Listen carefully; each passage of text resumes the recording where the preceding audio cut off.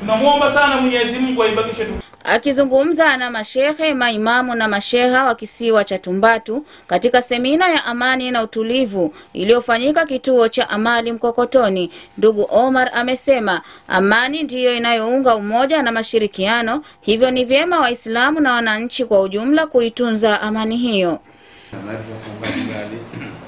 Bila shaka mazungumzo yetu haya leo yatakayofanyika hapa hatuishie hapa tu, na hamuoneshi ubakhili wa hivyo. Kwa hiyo mtachukua nafasi ya kwenda kuyafikisha na kuyatoa kwa wenzetu ili tunufaike kwa ajili ya watu wa Tumbatu kwa ujumla. Amefahamisha kuwa hata vitabu vya dini vimesisitiza amani.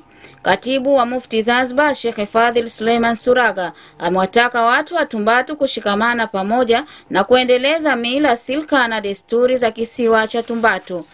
alipoona wale Watumbatu wa Uvivini na Wajongoe wako pamoja tena, wanakaa vijiweni pamoja, kahawa, mazikoni, kwenye matanga, kwenye harusi, si ndio? Huyu hakuridhika Shafii Qais.